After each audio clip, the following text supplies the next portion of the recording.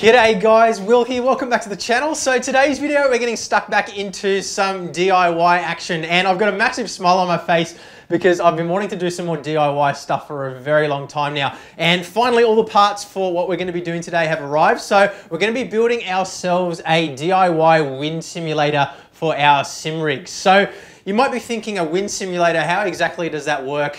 Uh, what's the deal there? Isn't it just basically a fan? So no, it's not just a fan. What we're gonna be doing is building something that is actually able to increase and decrease the amount of airflow that you feel or the um, speed of the fans depending on how fast you're traveling inside the sim. So I'm really excited to see just how well this is going to work. I've seen a couple of people who have done similar things. There are some off-the-shelf products that are available online as well. And uh, pretty much I've seen nothing but good reviews on this, particularly for people who do a lot of VR. So uh, really keen to see how this is going to go, but we're going to be taking the DIY approach today. So I'll run you through quickly all the bits and pieces that you're going to need to do this. Links are in the description below as well for all the products if you want to purchase any of this gear.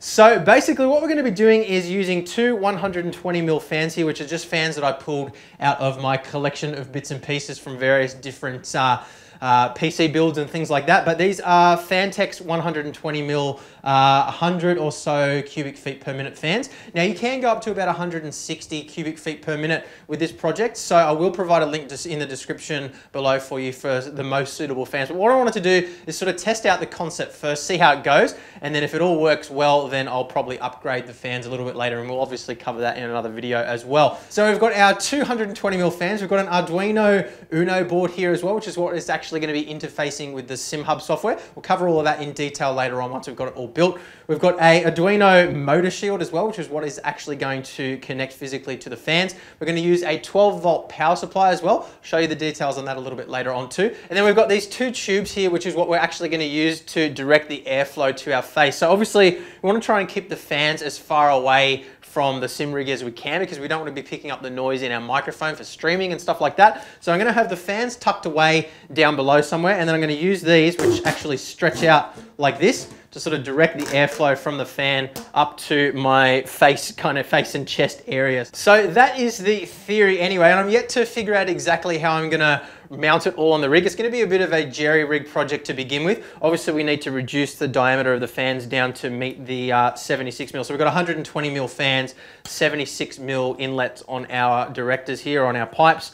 And uh, yeah, so I'm yet to sort of figure out how I'm going to tackle all that stuff. I'm going to jerry rig it to begin with, see how well it performs in theory, and then we'll come back later on and do a video where we tidy everything up and make it look a little bit more professional. So anyway, without further ado, let's get stuck into getting this all working.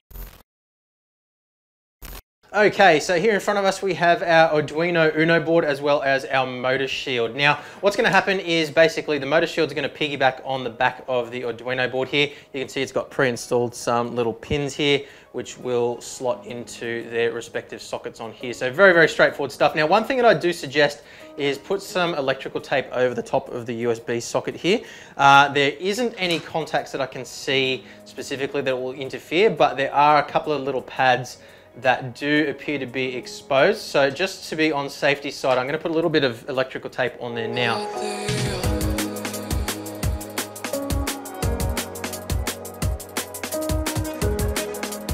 So it may not be necessary, but I figure it can't hurt to take an extra little precaution, safety first. So now we want to slot this into position like so. Make sure you don't bend any pins. Push it down.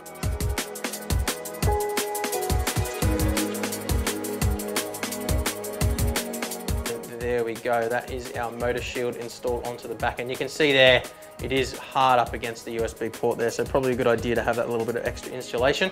Now this thing we want to do here now is take off this little jumper. That's essentially just telling the circuit to use the power input from here rather than using USB or auxiliary power from the Arduino board. So next we need to get on to installing the fans. Okay, so next up we need to prepare the fans to connect to the motor shield. So you've got three wires here on these particular fans. Depending on the fan that you use, you may only have two. So you've got a negative wire, a positive wire, and in my case, the third wire is the RPM signal wire. So we're gonna not be using the RPM signal, it's not relevant to what we're doing here. We're gonna trim off the connector, so simply cut it off. You might wanna leave a little bit of wire there just in case you ever wanna reconnect it again for some reason. So snip it off on both of them. And then we're gonna wanna strip the ends here as well.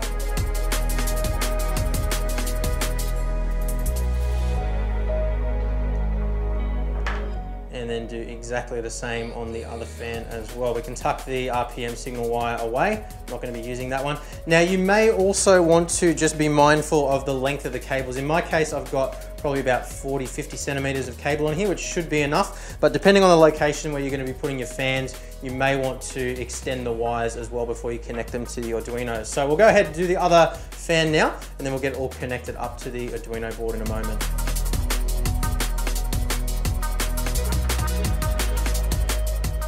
So we'll just quickly tin these wires as well before we install them into the terminal blocks, just to help them to not fray and come apart. Very simple. So do both fans like that and then we can install them into the terminal blocks. So next up, it's time to connect the fans to the motor shield. So you can see we've got a USB port here, our power. Right above that is a terminal strip with five slots or five ports. So we've got our M1 port here, a ground, another ground, another ground, and then our M2 port there. So we want to connect the positive wire to one of the fans, the negative wire to the same fan, negative wire to the second fan, and positive wire to the second fan. So positive, negative, negative, positive. So we want to look for the little streak again on the back of the wire. That indicates the negative wire.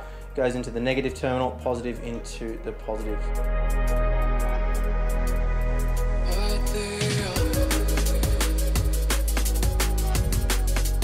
Okay, so as the desk gets more progressively messy here, we're moving on to our power supply. So I've just picked up a 12 volt DC 3.3 amp power supply that I had kicking around.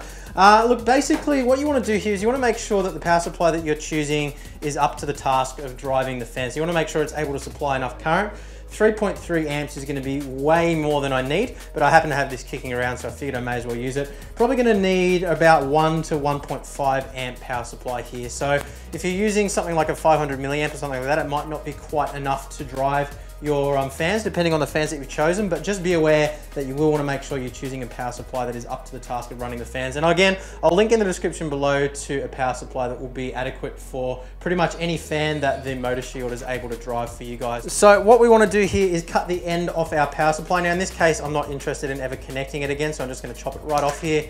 And then we wanna strip the end of it so that we have access to our two power wires inside. So strip that off like that. Okay, so just about every power supply out there will have a single positive and negative wire. In this case, the outer shield is our negative and the inner core is our positive. So what I'm gonna do is slip a little bit of heat shrink over the end here just to give us a clean negative wire and positive wire just so there's no chances of any short. Chances are if you've been sensible and got a decent power supply like the one in the description, you won't have this problem. But yeah, I just wanna tidy this up a little bit before we connect it to our Arduino board.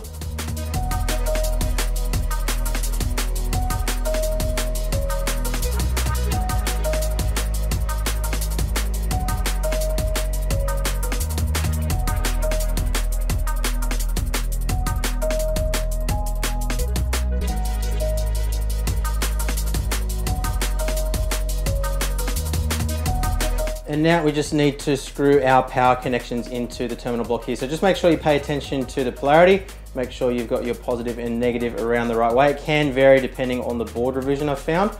So just wanna make sure you pay attention to the markings that are on the board. Obviously plus for positive and minus for negative. So once those are nice and secure, I'm just gonna slide this little bit of heat shrink up over the last little part of the connection and that should make it nice and snug and ready to power up and test.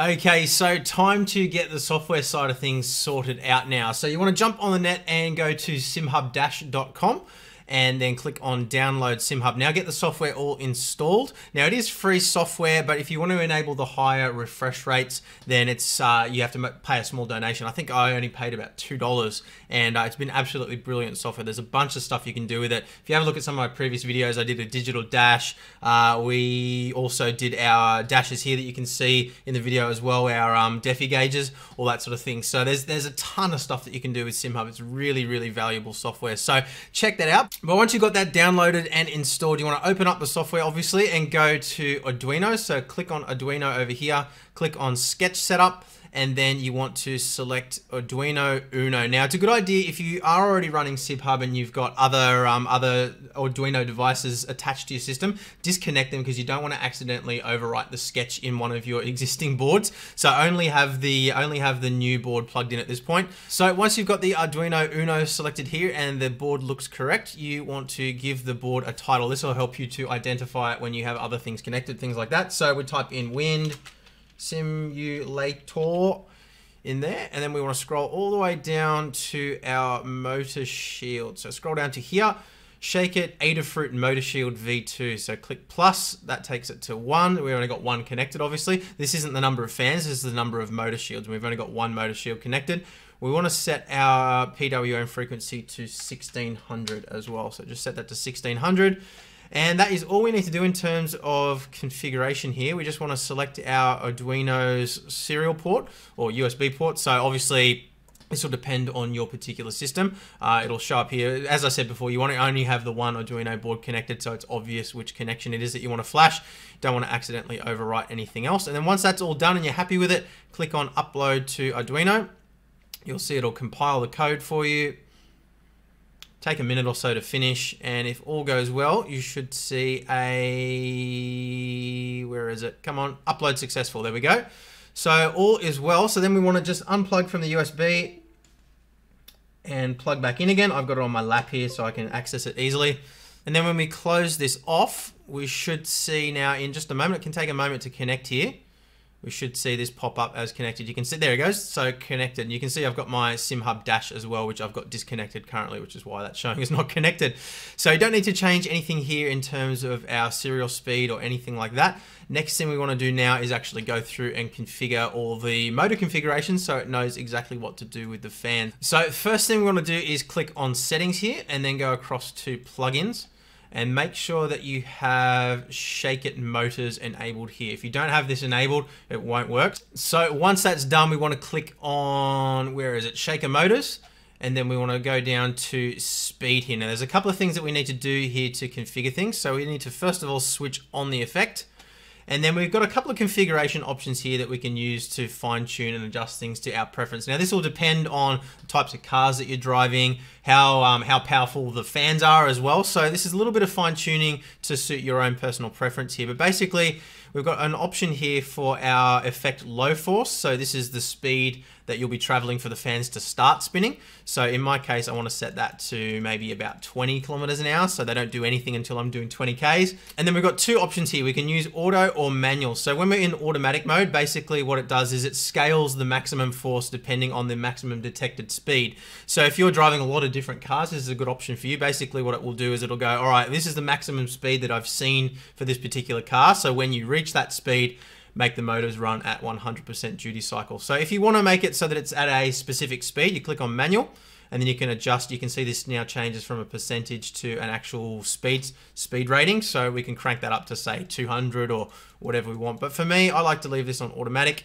And uh, yeah, I think that's to probably make the most sense. Now, there's one other thing that we're going to need to configure here. We're going to click on motor output. We're going to switch this on. And then we're going to expand it and scroll all the way down to, where is it? Should see speed. And now we want to turn on channel one and channel two. Now the reason why we're using these two is those are the two channels that I've got my fans connected to on the Motor Shield board. If you're using four fans, you would switch on the first four channels. If you're using one fan, you'd only switch on the first channel and so forth. So once that's all done, what we can do then is close this down again, go back to our effect profiles. So if we've set everything up correctly, we should see the fan spin. So I'll hold this up for you so you can see it click on test here and there we go, a little wiggle of the fans. I was touching one of them with my hand there so it didn't spin, but click it again, there we go. So both fans are spinning there. And if we go back into our motor output here and expand this down, we can test the individual channels as well. So we go test channel one, and just one of the fans spins, test channel two, the other fan spins. Now just to quickly mention as well, there is one more adjustment that you can do here under output tuning. This is more for when you're using motors to replicate things like vibration and short uh, bursts of energy, I guess. So generally speaking, for a wind simulator, you can leave the threshold and minimum force both set to zero. Uh, the settings that we have under effect profiles is enough to make the adjustments that we need. But uh, if you do find you want to fine tune things, you can experiment around with this. And I will link below in the description to the documentation for this as well, so you get a better idea of exactly how this is all set up. But what I'll do is once I've got this all configured properly, I'll do another video once we've got it all mounted on the rig and everything to show you what my final settings are once I've had to play around with it and everything. The focus of this video is basically just to get it working and test the uh, test the theory, I guess. So what we'll do now is jump into a sim and actually test this out. Okay, so we've enlisted the help of my daughter's Barbie doll here, and you can tell it's a very old one. It must have been Jill's at some point because it's wearing an apron. Pretty sure you wouldn't get away with that in 2019. But uh, anyway, she's going to help us out with a little bit of visualization here. I'll also obviously describe what I feel as I'm driving as well. So what we've done is we've just basically strung the fan up in position now, blowing in this general direction, uh, just to give us a basic understanding of whether this is going to work as a concept or not. And then obviously we'll do fine tuning from there. So let's jump out. All right, so we got movement straight away, so that's a good sign. It's ramping up. I'm not really feeling anything just yet. But we'll see what happens when we hit the longer straights. Okay, I can feel a little bit. Okay, yeah, I'm feeling it now. Okay, that okay, that is pretty cool. I mean, it's it's kind of like it's not as strong as it needs to be, and obviously we're not directing the airflow towards our face yet either. But going down the straight here, you can see Barbie's hair is starting to move a little bit, so it's definitely working. And yeah, I'm feeling that across my body now. this is the most ridiculous test I've ever done. All right, let's turn in. But uh, yeah, I mean, I think the the problem here is that the fan just isn't as strong as it needs to be. It's um, as I said at the start of the video, it's just a fan that I found laying around basically, and um, I think it definitely needs something stronger. I know that the circuit can support fans a lot stronger. So what I'll do is I'll the, the the fan that I link in the description below will be a fan that I know will work, and what I'll do is I'll um, I'll order the same fan or something similar as well. I'll see if I can pick something up that's the same rating in a local store. And um, we'll do a part two video where we sort of finalize everything and um, kind of get everything hooked up properly with with um, with appropriate fans and everything. But it's definitely working as a concept. You can see there it's speeding up and ramping down. As I come to a stop here again, you'll see it slow down. But what I'll do quickly for you now is I'll hook up a digital multimeter to the output of the motor shield as well so we can see how the voltage actually scales as we're driving because that'll give us a better indication of what could happen if we had the correct fans there. But it's definitely working. I'm definitely feeling something. It's just these fans that I've got here at the moment aren't really appropriate for the task. So thank you very much for your help, Barbie, but we're going to replace you with a digital multimeter now. All right, so what I've done is I've hooked up a digital multimeter to the output of the motor shield now. We've set our maximum speed in SimHub to 150 kilometers an hour. So given that we're using a 12 volt power supply here, we should see a 12 volts uh, reading on the digital multimeter when we reach 150 kilometers now. Anything below that and we should see a lower voltage. Now I'm sort of holding the probes on on my hand here while I'm driving, so it's gonna be a little bit crude.